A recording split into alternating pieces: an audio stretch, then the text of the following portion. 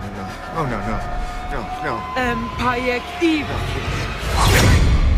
Alright, and right before we start, I want to let you guys know about a new channel we have called Tier List. All of us are going to be on it. There's going to be me, Eamon, Landon, Rebecca, everyone's going to be on it. Make sure you subscribe, check it out in the link below. We already have a video up on the channel, it's so cool, please check it out.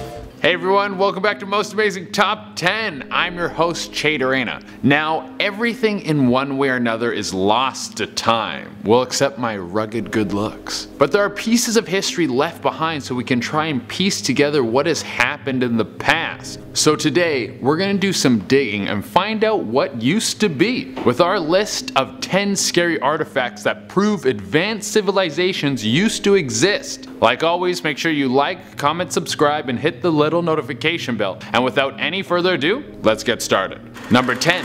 The Dendera Lights. When was the first light bulb invented? Well, it was way after the Common Era calendar started, but maybe it wasn't. Maybe the ancient Egyptians had some hookups for light bulbs and they used to throw dope raves. The Hathor Temple in Dendera, Egypt has carvings in the wall which look like gigantic light bulbs. The Egyptians may have found a way to harness some sort of energy to make light bulbs. If we're gonna go super conspiracy theory, which we are, some people believe that the pyramids were actually power plants with copper wires inside of them. They used them to tap into the natural electrical energy floating around around the atmosphere, pull it down into the earth, and send it into surrounding cities. If this is true, my Egyptian rave theory is not that far off. Number 9. Robots? We barely have robots now, and you're telling me that before they had toilet paper, they were making robots? Well, not that high tech, but it's still pretty cool. In ancient Greece, Philon of Byzantium made a working maid. The way this contraption worked, it was a statue with moving parts. It was perfectly weighted with a pitcher in one hand and the other hand was open.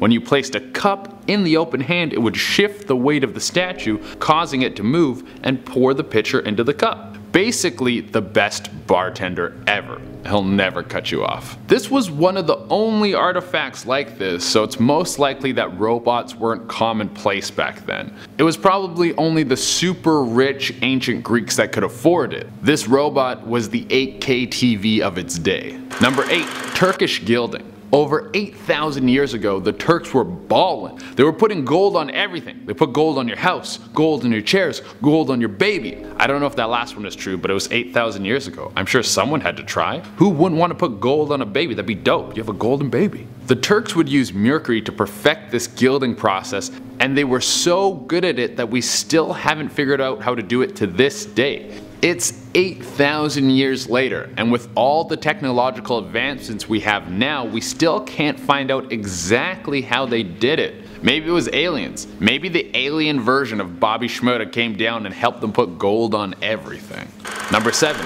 Uunartoq Disc when you think of Vikings, you think of pillagers, murderers, pointy hats. But they were also some of the best sailors alive. They were kings of navigating the sea, pulling up on some foreign shore and cutting everyone's head off. So it shouldn't be a huge surprise that they might have been the first civilization to discover a compass. The Uunartoq disc was discovered in Greenland in 1984. It's believed that the Vikings would use these devices at night when they couldn't use the sun to navigate.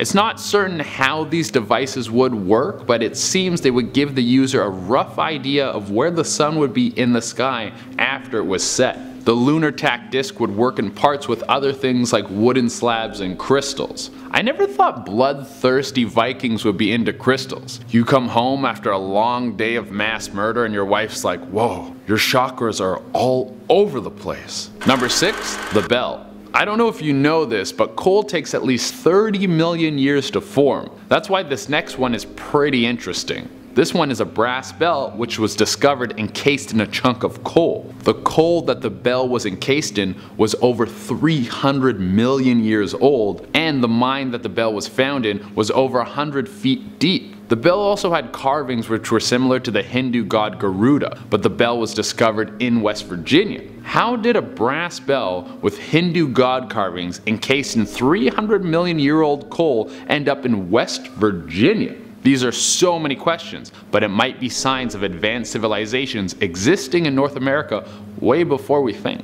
Number 5. The Piri Reis Map Cartography is pretty easy now that we have satellites. We can see the whole world from space and just take a picture and then print out the picture. But then the printer's like, I can't print it, I'm out of color. And you're like, whatever, just print in black and white. And he's like, nah, I need more magenta. And you're like, I said black and white. Believe it or not, Making maps was even harder back then. The Piri-Reis map was discovered in 1929 by Gustav Adolf Deissmann, and it was an absolute marvel. The map depicted a very detailed charting of Antarctica before it was covered with ice. It was made by cartographer Haji Ahmed Muhyiddin Piri. The map is so incredibly detailed that it puzzled the archaeologists that found it. Who was able to make something this detailed without some sort of advanced technology? Also, we can't compare it to what Antarctica would look like because it's now covered in ice. So we'll just have to wait to find out if it's actually accurate. Number 4. The London Hammer. This isn't some bad 80s hair metal band. This is the discovery of one of the oldest dated tools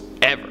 The London hammer was discovered by a couple who went out for a walk, and they saw a chunk of wood coming out of a rock. They thought it looked interesting enough, so they took it home. Later, their son decided to take a hammer and chisel to it and break into it. Inside, he found what looked like a crude design of a hammer. They took the hammer to some archaeologists, and this is where things get crazy. The rock encasing the hammer dates back 400 million years, and the iron used to make the hammer's head is over 500 million years old. The hammer's head is over 90% pure iron, so there's no way this could have happened naturally in nature. Parts of the hammer's handle have been turned to coal, which means the hammer itself is at least 30 million years old, because the coal takes at least 30 million years to form. My guess is someone jumped into a time machine and got stuck way back. Never be the first guy to go into a time machine, wait until they work out the kinks. Number 3. The Coso Artifact. In 1961, a group of hikers was going rock collecting somewhere in the California mountains. These guys were super cool dudes. They came across some geodes, which are crystals encased in rock. They took them home to cut into them to see what kind of crystals would be inside. What they found was more than just crystals, but a porcelain casing, a spring, and some metal parts encased inside the rock. The pieces all resembled a spark plug but the rock was dated 5,000 years old. The craziest part about this is the Coso artifact and the three hikers who made the discovery have all gone missing. Super creepy. Number 2. Nuclear reactor. How old would you think the first ever nuclear reactor is? If I told you it was 10,000 years old, you probably wouldn't believe me. Well, this nuclear reactor, discovered in Gaboon, Africa, is actually way older than that. In 1972, a team of archaeologists dug up a 1.8 million year old nuclear reactor. They were able to determine the age through carbon dating, and from the design, it seems like it was man-made. This is one of the craziest discoveries ever recorded. Some people think that it was a meteor that crashed into the earth and just left back some nuclear energy. But other people think that it was aliens who came here to bioengineer humans and create new life, and then study it from a distant planet. I don't know, and maybe everyone's wrong. Maybe some people are right. I don't know. Number one, spheres. If you find one naturally occurring anomaly, you can chalk it up to chance. But if you find over 200 in the same place over a 30 year period, then I guess there might be something going on. Metallic spheres started popping up in a mine in South Africa in the 1970s. There were metal on the outside with some line markings that go down the center. They range from sizes of 2.5 centimeters to 10 centimeters. If you break into them, they seem to have some sort of soft material in them that breaks down when it comes in contact with the air. So far it's not that crazy. But these spheres are dated back 2.8 billion years, before dinos, before almost anything. How could you have something that's clearly crafted dated so old? Obviously, I don't have the answer, but we can speculate. Time travel? Aliens? Maybe this is human beings' second run at life. Maybe there's been civilizations that have lived on this planet before, and we're just another group taking a shot at life. Well everyone, that's our list. Thank you so much for tuning in. As always, make sure you like, comment, subscribe, and hit the little notification bell. Until next time, I've been Che Durena, and I can't wait to forget all these things we've been questioning so I can just go home and play PlayStation. Thanks very much. Good night.